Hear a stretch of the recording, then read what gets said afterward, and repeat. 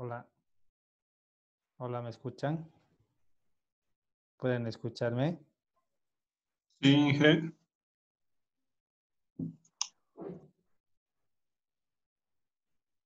Bien, jóvenes, vamos a empezar clases de dibujo.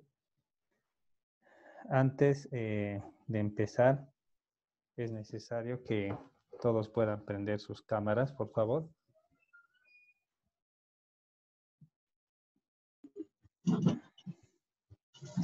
vulnerability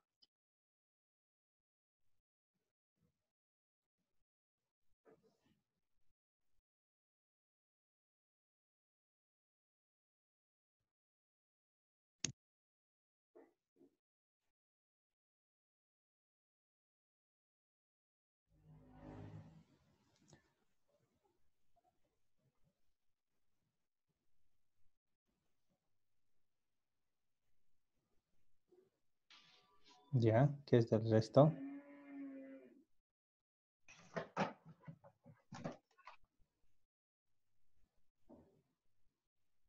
Muy bien.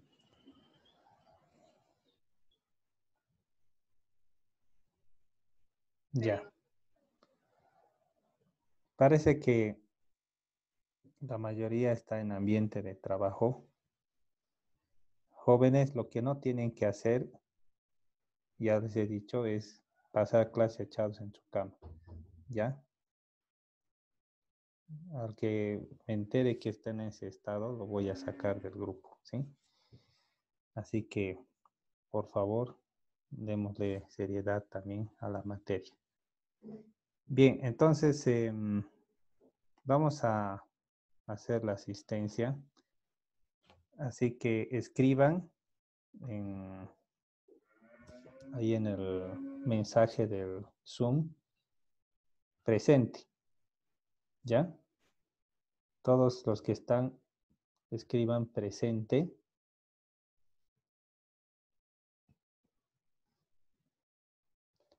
Ya los que gustan también pueden apagar sus cámaras, no es necesario estar con cámaras prendidas a fin de poder eh, ganar velocidad y ahorrar transferencia de datos.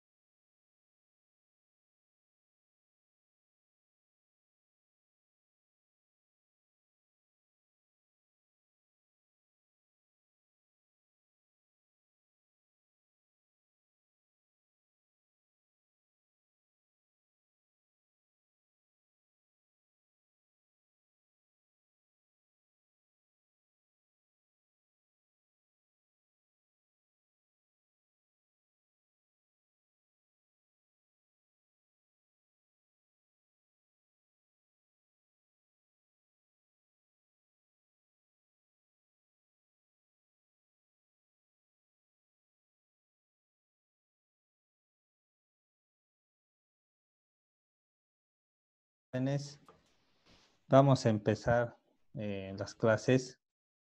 Antes de empezar, ¿hay alguien que se está uniendo por primera vez aquí a las clases? ¿Es nuevo? Yo, Lice, Andrés Calero. Buenas tardes, Lice. ¿Qué ha pasado contigo, Andrés? Eh, no, no, no estaba en línea, Lice, no, no estaba trabajando, Lice, no estaba aquí. En, en línea no estaba, Lice. ¿Alguien más? Muy tarde, porque ya está empezando las clases, Lice. Disculpa. ¿Alguien más? Yo también, Lice. Ya. Entonces, lo que voy a hacer es mandarles a, en el libro, eh, perdón, les voy a mandar aquí al Zoom el enlace para que se unan al grupo de WhatsApp. Y una vez que se unan al grupo de WhatsApp, que lo van a hacer ahora, em, lo que van a hacer es eh, poner su nombre completo en el grupo de WhatsApp que se va a unir. Escuchen bien, apellido paterno, materno y nombres completo. Sí, correctamente escrito. ¿De acuerdo? Ya les he mandado eh, para los nuevos el enlace al grupo de WhatsApp y escriban sus nombres, apellido paterno, materno y nombres. ¿Sí? Ahí en el grupo de WhatsApp. ¿Sí? Bien. Inge, una consulta. Eh, en mi caso, estoy de mi laptop y no puedo unirme al grupo de WhatsApp por el Zoom, digamos. O sea, me pide una descarga de WhatsApp. Pero tienes que descargar. Tienes que descargar. En mi, en mi laptop. Claro, descargarlo la aplicación de, de WhatsApp para PC y unite mediante tu laptop. ¿sí? Ah, ok, gracias. Okay, gracias. Ya. Entonces, eso háganlo eh, no necesariamente ahora, pero sí busquen eh, el momento para poder hacer esto, ¿ya? Y no, no, no quisiera seguir retrasándome en este asunto, por favor. Bien, vamos a continuar lo que estábamos viendo, la última clase. Eh, estábamos hablando acerca de los espesores eh, de las líneas y de las normas que se utilizan para lo que es el dibujo técnico. ¿Sí? Entonces, si ustedes ven la pantalla, hoy vamos a recordar los tipos de línea y los grosores que solemos utilizar para el dibujo técnico. También la acotación, cómo se debe realizar. Y también esto que es importante las diferentes vistas. ¿Sí? Entonces, no simplemente eh, es suficiente con hacer el dibujo por un lado, sino que tenemos que hacer tanto frontal, en planta, o hasta incluso cortes, ¿no? Como vemos acá, esto es un corte y esta es una vista eh, frontal y esto seguramente es una vista en planta o una vista lateral, que es lo mismo, ¿no? Entonces, cuando combinamos estas vistas, podemos ver la figura completa. Pero no solo es suficiente mostrar la figura completa, sino también las medidas. Y hemos estado viendo que esta norma nos eh, da una serie de criterios al momento de colocar las vistas. ¿Sí? Y también las medidas. Entonces, lo que nunca debemos hacer es que estas líneas de acotación se corten entre sí o estén desproporcionadas. Aquí hay algunas ideas de lo que está mal y esto es lo que es correcto. Y fíjense que en este caso el grosor de la línea de la figura es distinto al grosor de la línea de las acotaciones. Eso nos muestra de que tenemos que tener cuidado al momento de escoger los grosores de línea. Bien, aquí tenemos otro ejemplo de cómo podríamos acotar cuando tenemos eh, diferentes medidas que van variando. Lo mismo acá. Aquí también tenemos una idea.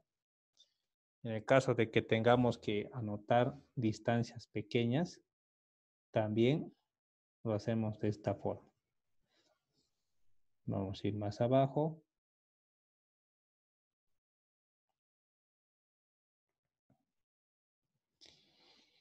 Ahora, fíjense en esta parte de acá, tenemos eh, una pieza con eh, figuras de diferentes tamaños. Y cuando las acotaciones son numerosas y los tamaños son pequeños, también es necesario que utilicemos otras técnicas para acotar. Entonces, cuando colocamos de esta forma, es fácil entender cómo hacer la acotación. Aquí tenemos otra pieza y otra forma de cómo también podríamos acotar. Bien, ahora veamos la acotación refiriéndonos a los diámetros. ¿Sí? Cuando tenemos que acotar diámetros, fíjense que lo correcto sería acotar de esta forma. Entonces, una línea que pase justo por el centro de la pieza e indique eh, la magnitud. Pero lo que no tenemos que hacer es superponer este texto con los ejes. ¿Sí? No tienen que cortarse los ejes. Aquí también se ha colocado de forma inteligente esto, un diámetro interno y un diámetro externo de esta forma.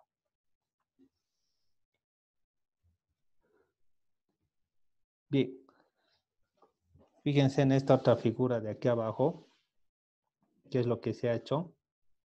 Se ha empezado eh, a trazar círculos y se ha empezado a hacer la acotación de estos círculos de esta forma. Entonces, cuando vemos esto, es fácil darse cuenta de la acotación. Y fíjense que las líneas de la figura son más gruesas y los ejes con respecto a las acotaciones tienen casi el mismo espesor. Entonces, cuando vemos esto de diferentes grosores, es fácil poder distinguir las acotaciones de la figura. Entonces, nunca deberemos hacer eh, con los mismos espesores de, línea, tanto la figura como las acotaciones o los ejes. Bien, vamos a ver acerca de los arcos.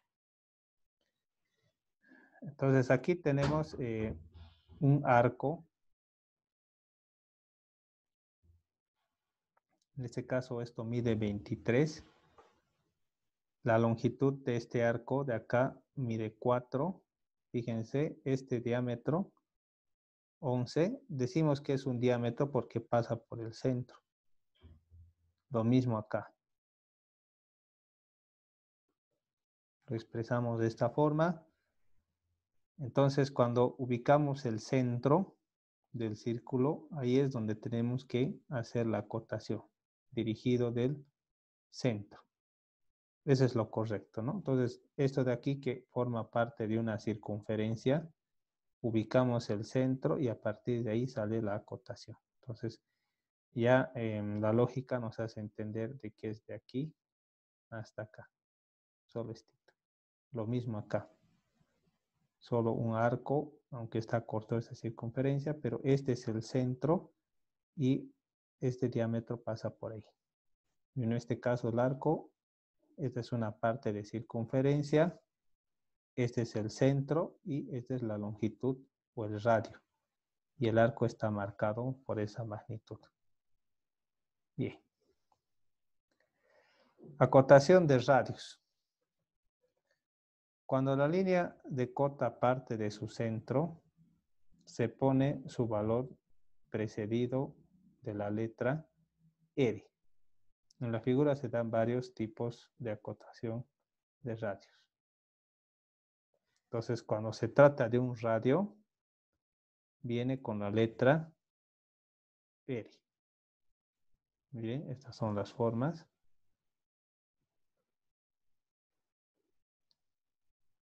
Vamos a ver un poco más.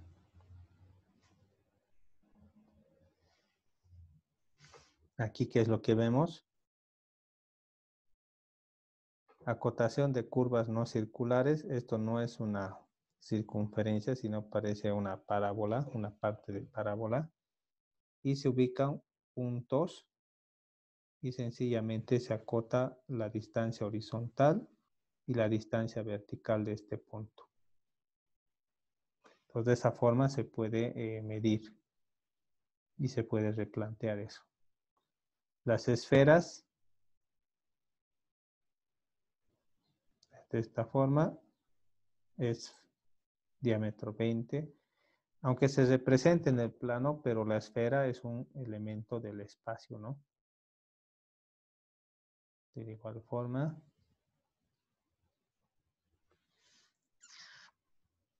fíjense que hay un elemento no circular, se ubican puntos y se van ubicando las posiciones de esos puntos. Líneas oblicuas. Las cifras de la cota se rotula de forma indicada de la figura. Siempre que sea posible debe evitarse la cotación en la zona rayada. Entonces, si hay una zona rayada, la cotación no debe realizarse en ese lugar. Vamos a ir viendo más. Ahora vayamos al caso de los ángulos. Ya fíjense, tengo una circunferencia donde hay varias rectas que lo están cortando. Entonces, ¿cómo tendría que ser el asunto de la circunferencia eh, de los ángulos?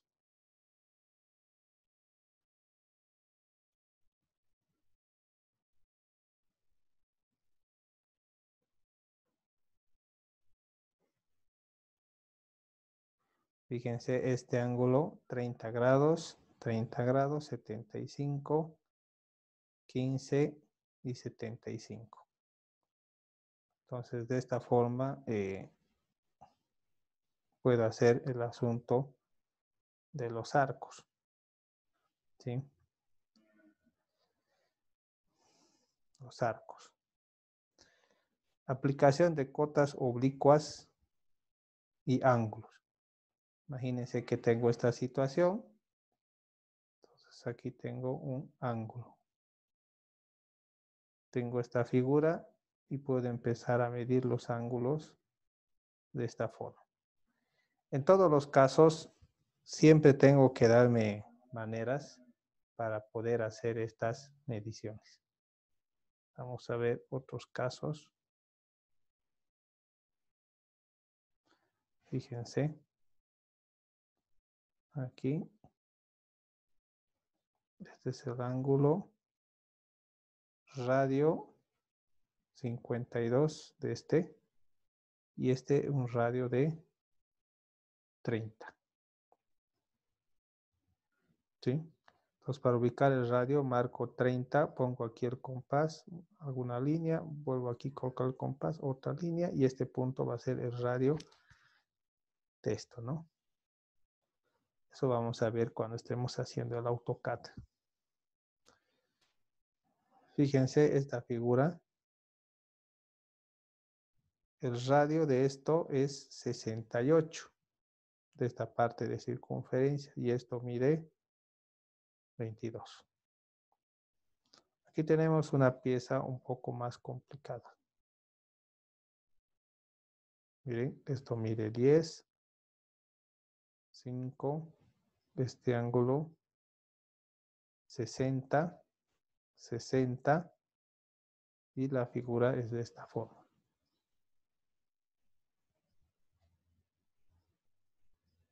Muy bien. Aquí hay como acotar cilindros. Si se acota el diámetro de la proyección en la que no aparece el círculo de la base, se emplea el signo que precede a la cota del valor del mismo. O sea que esto de acá es un cilindro, pero lo estamos viendo de perfil.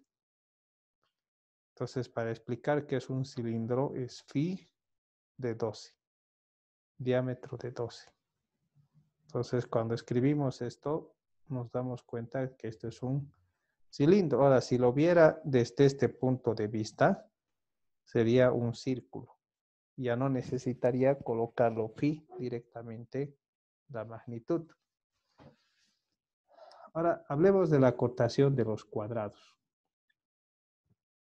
Si se está viendo solamente una cara de un cuadrado, y es en realidad un cubo, una superficie prismática, se anota el cuadrado y 12.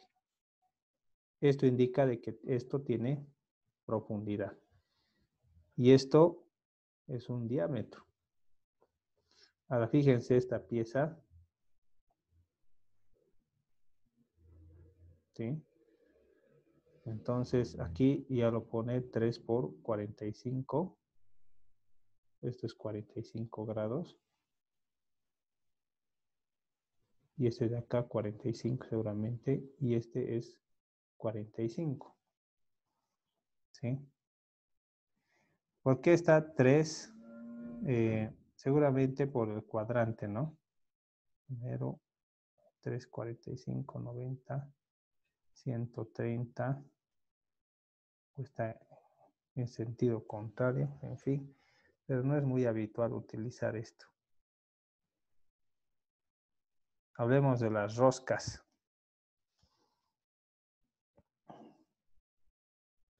Entonces, esto es importante, aunque nosotros no estamos en mecánica, pero sí tenemos la eh, posibilidad de los estribos. Así que la rosca, realmente, la métrica internacional se acota el valor del diámetro nominal precedido de la letra M. ¿Sí? Entonces, cuando es M, quiere decir que es una rosca métrica internacional. Cuando es W es la rosca Whitworth, expresado en pulgadas. Y esta otra, las roscas finas. Entonces aquí está. Y esta es la medida de dónde está la rosca. Cruz de San Andrés. Identifica a superficies planas está formado por dos diagonales trazadas con la línea fina. Fíjense, es esta pieza en el espacio y si hago esto, quiere decir que es una superficie plana. Esta parte de aquí es plana y por eso hace una X. ¿Sí? Bien. Vamos a ir más abajo. Acotación de tornillos es de su hexágono, ¿sí? Con una circunferencia inscrita. Y esta es la forma del perno. Entonces aquí está el diámetro del perno, la rosca. Esta es la longitud total del perno y esta es la parte de la parte de la rosca del perno. No, no es la roca, sino la tuerca del perno. Vamos a ver otros tipos de acotaciones de los avellanados. Miren, es una pieza que tiene una parte cónica y un cilindro y esto ha sido bisectado. Entonces, para se está haciendo una vista en planta, perdón, en, este, en esta cara, una vista frontal del corte. Diámetro 6 indica que esto es un cilindro. Y esto de acá un diámetro 12. Entonces el diámetro 12 baja a un diámetro 6. Y este ángulo 60 grados. Esto es 20. Y aquí faltaría una medida, ¿no? Que no nos dan, pero en fin. Es eso.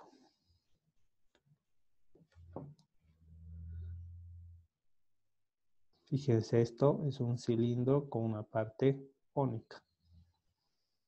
Entonces, ¿cómo se refleja esto? De esta forma.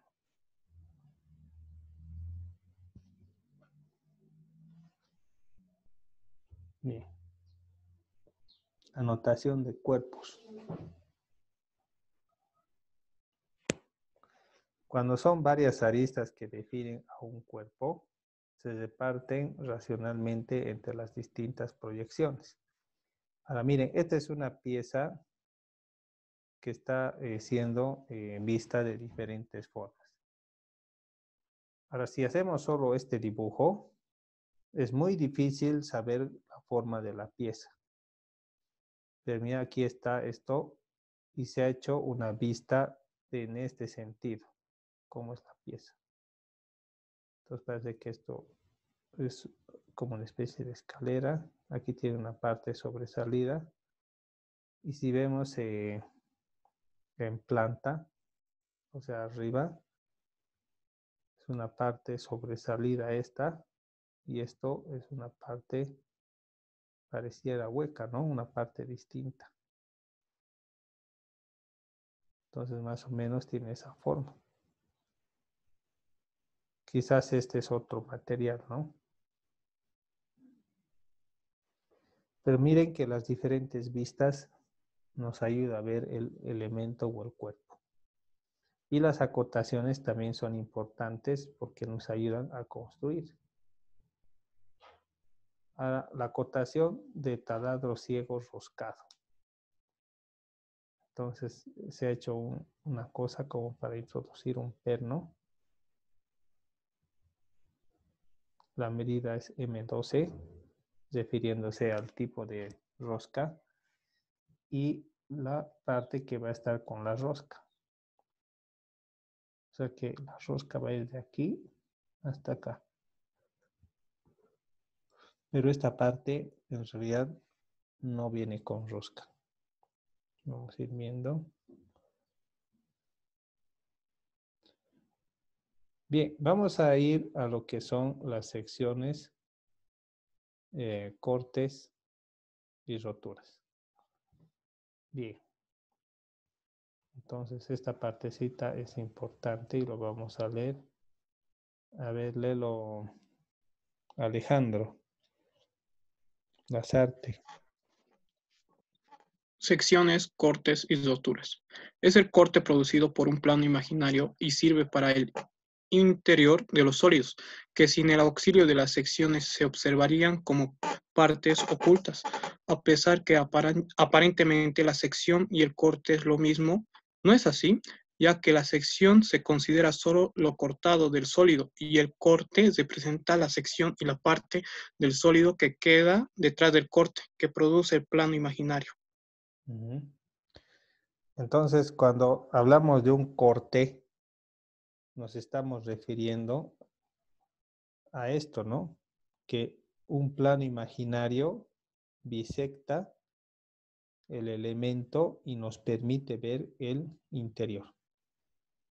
Entonces, el interior, si lo vemos de vista frontal, es esto, vista en 3D de esta forma. Si somos más estrictos, simplemente es esto el elemento, ¿no? No estamos viendo aquí profundidad, pero si vemos profundidad, podríamos decir que es así. Entonces, estos cortes de secciones eh, nos permiten conocer mejor cómo es la formación del elemento mecánico. Rayados en cortes y secciones.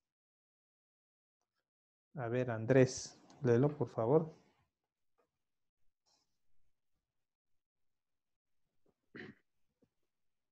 Rayados en cortes y secciones. Inciso A. El rayado es, es de la línea fina y con una inclinación de 45 grados con respecto al eje. Inciso B. La separación entre líneas dependerá de la magnitud del dibujo. Inciso C en toda la, pieza se mantendrá el mismo tipo de rayado. Inciso D, si hay varias piezas juntas y rayados, tendrán, tendrán que ser diferente para cada pieza. Inciso E, el rayado se interrumpirá si es necesario para, la, para la colocación de cotas. Bien. Entonces, el rayado se refiere al achurado, ¿no? Y cuando tenemos una parte achurada, como vemos acá, es fácil reconocer las partes cortadas. Por ejemplo, aquí se ha bisectado esta pieza y cuando se ha mostrado en, de forma frontal, se ve la parte achurada. Entonces aquí nos damos cuenta de que esto en realidad no se ha cortado, que simplemente se han cortado estas partes y estas partes llegan a ser planas. Entonces el achurado tiene mucha importancia. Ahora fíjense, algunos consejos que, que se nos dan, como había leído su compañero.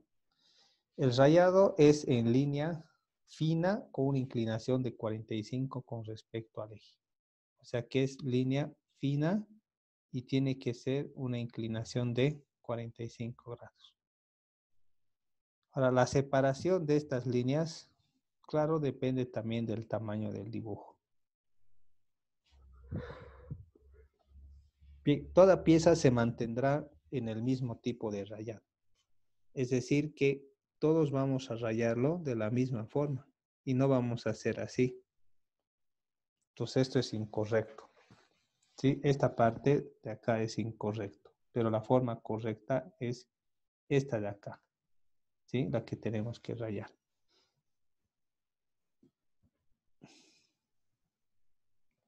Ahora, si hay varias piezas juntas, el rayado tiene que ser diferente para cada pieza.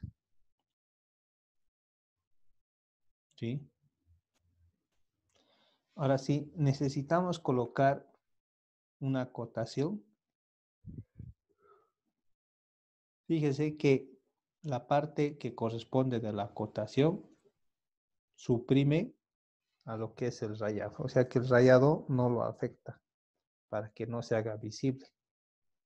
Sino de que el rayado eh, continúa, pero cuando hago una acotación, esa acotación está por encima del rayado a fin de que se tenga una buena visibilidad. Bien. Ahora, si se ha hecho el corte total de un plano,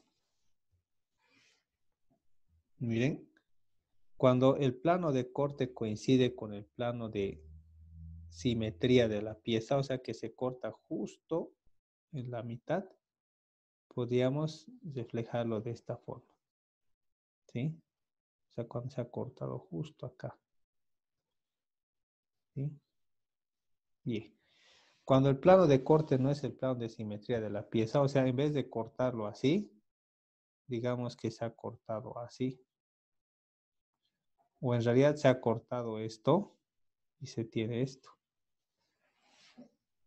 Entonces la parte achurada, fíjense, es la parte llena.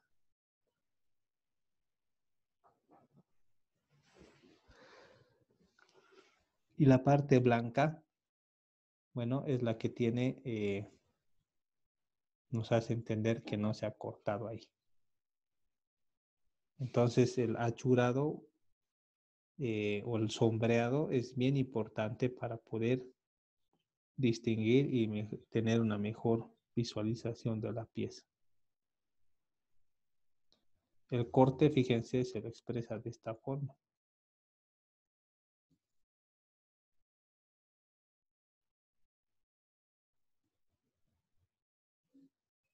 Veamos esto. Corte total por planos paralelos. Entonces ahí tenemos una pieza que corresponde a esto. En vez de cortar en un plano así, lo que se ha hecho es este corte, fíjense, así. Entonces han quedado las piezas de esta forma. Secciones producidas por distintos planos, las letras mayúsculas al final, comienzo de las quebradas, secciones por planos paralelos.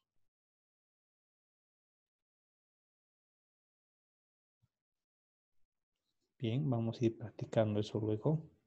Pero fíjense, el corte también puede hacerse de esta forma a fin de ver las partes más importantes. Porque si haría de esta forma recto, no vería esta parte de acá, que es necesario.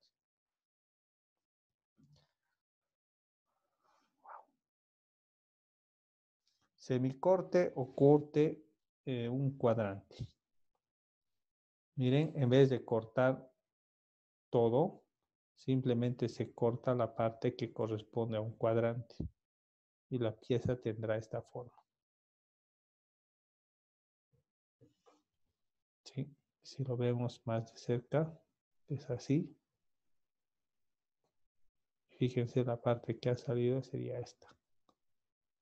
Eso vamos a ir practicando también.